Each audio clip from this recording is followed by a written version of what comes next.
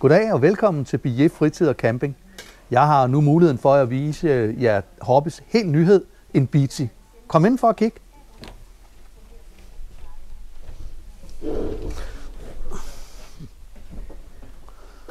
Nå, velkommen til. Så er vi øh, inde i Hobbes nye BC 450.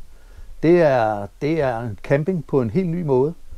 Vi er rigtig spændte på, hvordan øh, folk tager imod den. Indtil videre så har det været rigtig positivt. Men øh, det er vognen til folk, der vil ud og opleve den øh, danske og den europæiske natur. Vi ser jo mere og mere, at, øh, at folk øh, de vil ud og lave noget outdoor. De vil ud og vandre, de vil ud og surfe, de vil ud og fiske, de vil ud og spille golf.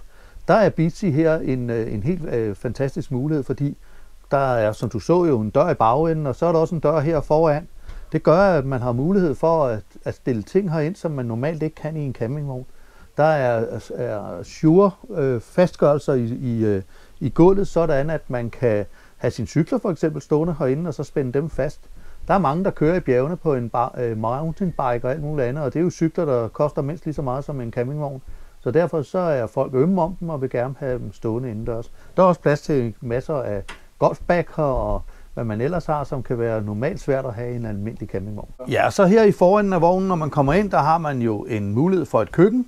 Det er lavet helt specielt, fordi det er outdoor folk, så man forventer ikke, at folk skal stå herinde og lave mad. Så derfor så ser du heller ikke et gasplus herinde. Det er meningen, at det skal man lave udenfor på grillen eller på bålet, hvor man nu er henad.